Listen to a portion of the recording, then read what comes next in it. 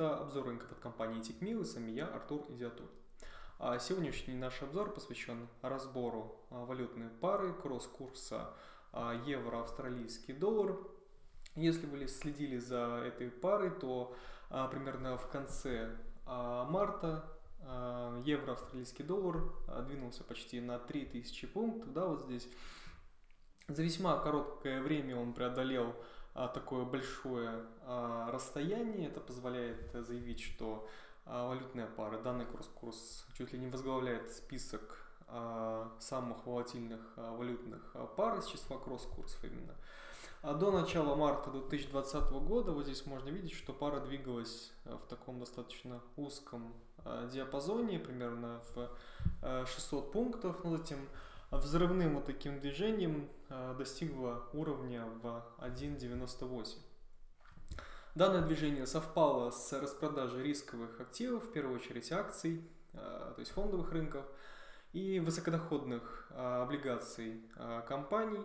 Пострадали также цены на сырье и именно некоторые товарные позиции, формируя значительную часть денежных потоков экспортных в Австралию.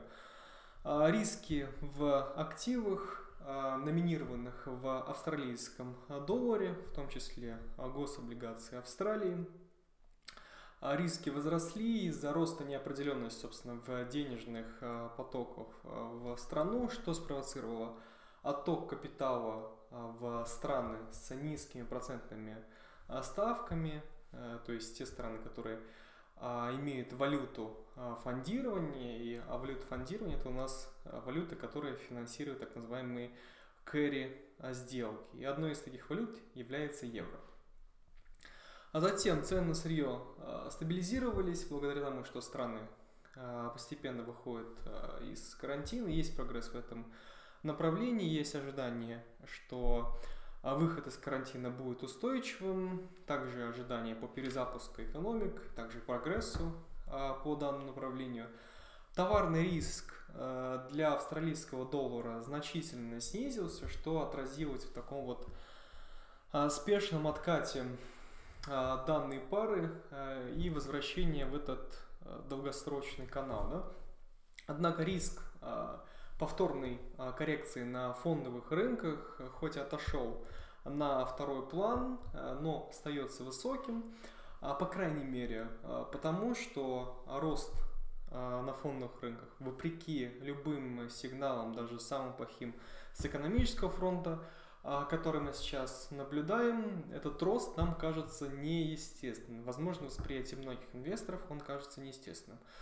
Аргумент есть такое о том, что поток шокирующих данных был уже отражен в мартовской коррекции а, на фондовых рынках, которая стала самой быстрой за всю историю. Этот аргумент кажется неубедительным, поскольку если это так, если это имело место, то в текущем восстановлении фондового рынка должны, соответственно, отражаться какие-то солидные ожидания восстановления. Но вот возникает вопрос, какие.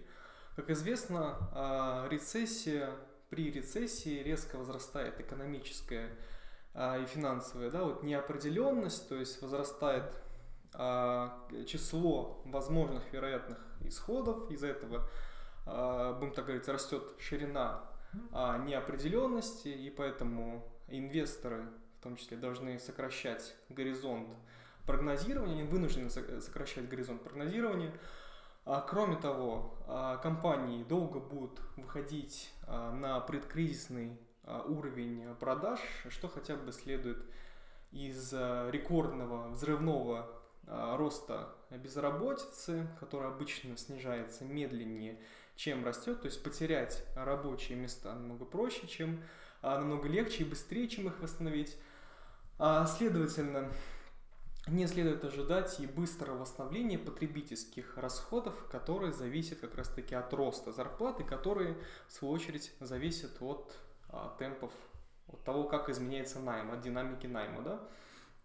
Есть а, версия также, есть такое предположение, что подавление доходности а, центральными банками привело а, к тому, что попросту из из фондового рынка, из акций сейчас некуда бежать, да, потому что если переложиться в наличность, то все эти наличные будет постепенно съедать инфляция, так как реальная доходность отрицательная из-за инфляции, из-за того, что номинальные ставки очень низкие, по бандам мы имеем также, соответственно, отрицательную э, доходность по некоторым, и, собственно, куда поэтому бежать? Остаются только акции, да, какие-то стабильные, хорошие компании. В будущем они как бы смогут выкарабкаться, да, и будут приносить дивиденды, то есть, ну, по ним можно будет получать доход, и, соответственно, эти ожидания создают вот такое равновесие на фондовом рынке, несмотря на ужасные экономические данные, которые мы получаем.